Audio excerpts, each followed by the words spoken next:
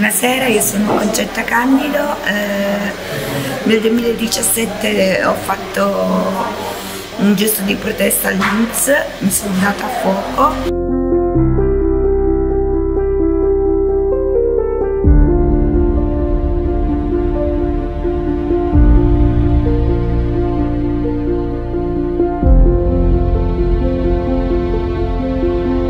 non riuscivo ad avere la NASPI perché c'era un ritardo nella presentazione della domanda, in quanto loro sostenevano che io avevo presentato la domanda a maggio, ma io in realtà l'avevo presentata già a gennaio. Il risultato era che io quando avevo presentato la domanda, in quel periodo risultavo eh, malata e tuttora mi chiedo ma da malata non avrei dovuto percepire qualche cosa. Comunque la faccenda si è risolta. Pazienza amen così va bene così.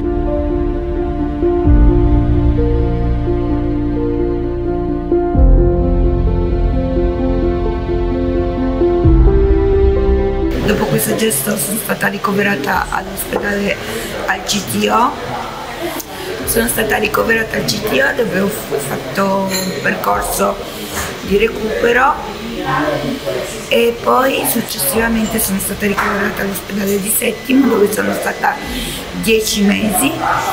Uscita da lì poi ho iniziato un percorso esterno di cure e terapie tra cui logopedista, fisioterapista, psicolo psicologa, eh, controlli chirurgici periodici, otorinolaringoiatria percorsi che comunque nel tempo stanno andando avanti e ancora a tutt'oggi percepisco una pressione di invalidità, non posso lavorare per via della mia tracheostomia, ho ricevuto anche l'inabilità lavorativa, sono a casa con, con i miei genitori qui a Settimo sostanzialmente mi prendo cura di loro.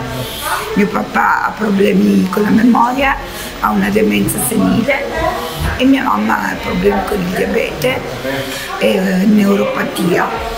Io nel mio piccolo cerco di dare il mio aiuto, ho diverse allergie alle polveri, quindi è difficile fare pulizia in casa, però cerco di fare quello che posso. Il Covid, per me il periodo del Covid che tuttora è in, in, in atto, è un po' critico perché comunque dovendo indossare le mascherine diventa un po' critico per me per la respirazione, però cerco di fare quel che posso.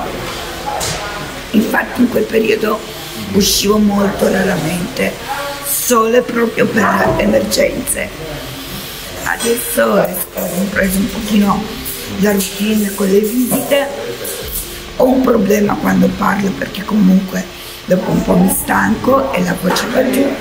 E effettivamente adesso se scusate un attimo bevo solo un sorso d'acqua